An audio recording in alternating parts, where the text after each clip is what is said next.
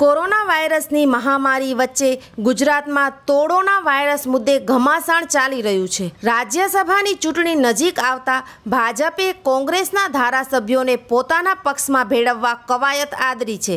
તો કોંગ્રેસ પણ હરકતમાં આવી છે. રવિવારે કચ્છના અબડાસામાં પરેશ ધાનાણી સહિત સૌરાષ્ટ્રના ધારાસભ્યો એકઠા થયા હતા અને અબડાસા બેઠક ફરી અંકે કરવા કાર્યકરો સાથે મિલન યોજી ગુપ્ત બેઠકો કરી હતી. પણ હમણાં કચ્છમાં નર્મદાનું પાણી પહોંચાડવામાં સરકાર દ્વારા થઈ રહેલા વિલંબ, અન્યાય અને કેનાલના કામો પૂરા કરવાની માંગણી દરમિયાન પ્રદ્યુમ્નસિંહ જાડેજા નિવેદન કરવાથી અડઘા અને મૌન રહ્યા હતા. રાજ્યની એક નંબરની અબડાસા સીટ પર ફરી કબજો મેળવવા અને પક્ષમાં સંગઠન વધારવા પ્રદેશ નેતાઓ દોડી આવ્યા હતા. દિવાળી પછી આ બેઠક પર ચૂંટણી યોજાય તેવી શક્યતા છે. કોંગ્રેસના પરેશ ધાનાણી, અર્જુન મોઢવાડિયા સહિતના નેતાઓ તેમજ સૌરાષ્ટ્રના ધારાસભ્યો અબડાસા આવ્યા હતા.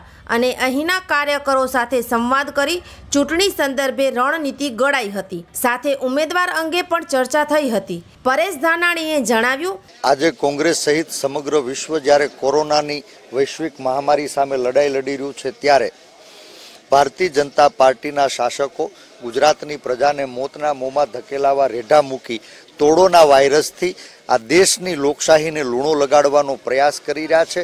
કોરોનાથી વ્યક્તિ મરશે, પણ તોડોનાથી આ દેશની લોકશાહી મરી રહી છે, રીબાઈ રહી છે, તરફડી રહી છે.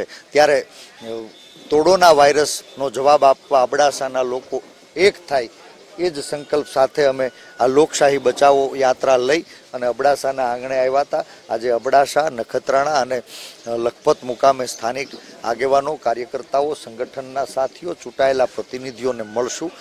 વિતેલા સાઠ દિવસમાં જે કોરોનાની વૈશ્વિક મહામારી વચ્ચે ક્યાંય બેરોજગારી ભરડો લઈ ગઈ. ભૂખમરાનો લોકો સામનો કરી રહ્યા હતા. ઘરે રાશન ખૂટ્યું હતું. કરિયાણાની દુકાને કોઈ ઉધાર નહોતું દેતું. બહાર નીકળે તો પોલીસ મારે અને ઘરમાં રહીએ તો ભૂખ સતાવે. આવી કટોકટીના કાળમાં અબડાસાના ચૂંટાયેલા જનપ્રતિનિધિએ જે જનમતનો દ્રોહ કર્યો છે, ત્યારે જનતા એકલી નથી. સમગ્ર કોંગ્રેસ પક્ષ એની સાથે ખંભે ખંભો મેળવીને ઊભો છે. આ વૈશ્વિક સમસ્યાની સામે લડવા એમાં વિશ્વાસ પેદા કરવાનું સૌ સાથી કાર્યકર્તાઓ કામ કરે એવી વિનંતી કરી છે.